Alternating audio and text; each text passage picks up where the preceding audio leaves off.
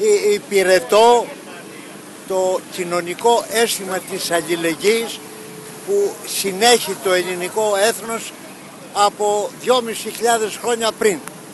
Είναι γνωστό ο μύθος της Αντιγόνης που αντιτάχθηκε στον Κρέοντα, στην κρατική εξουσία. Αυτό το ίδιο που έκαναν οι συνδικαλιστές της Γενόπη οι οποίοι από αίσθημα αλληλεγγύης κινούμενοι αποφάσισαν να μην πληρώσει τα χαράτσια την παρανομία αυτή την οποία διέταξε το κράτος απέναντι στους Έλληνες πολίτες. Είναι ολοφάνερο. Συμπαράσταση. Ναι. Ε, ακριβώς για συμπαράσταση. Γι' αυτό είναι.